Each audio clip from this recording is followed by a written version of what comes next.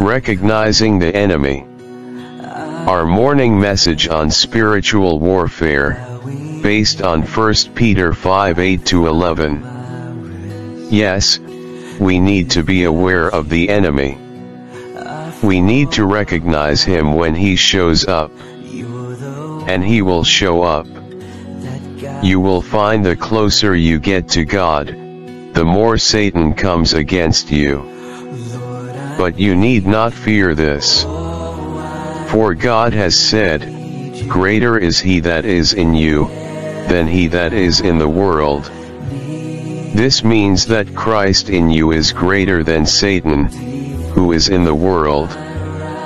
Satan roams around and is likened to a fierce lion. We need to be on guard at all times and be aware that he does exist and will come against us. We can withstand him by standing firm in our faith in Christ. Don't give in to his lies. Pray for discernment, so you will recognize straight away if something is of God or not. Evil can appear as good and righteous. This is why we need discernment, to recognize it for what it is.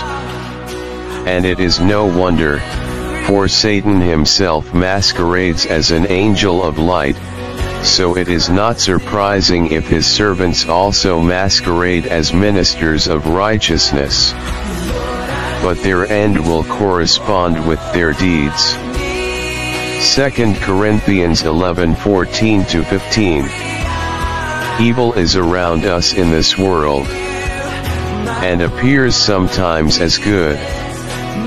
But be on your guard and don't give in.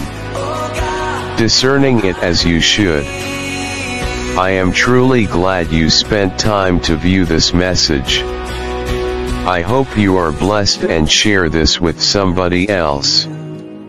Thank you, and have a great day everyone.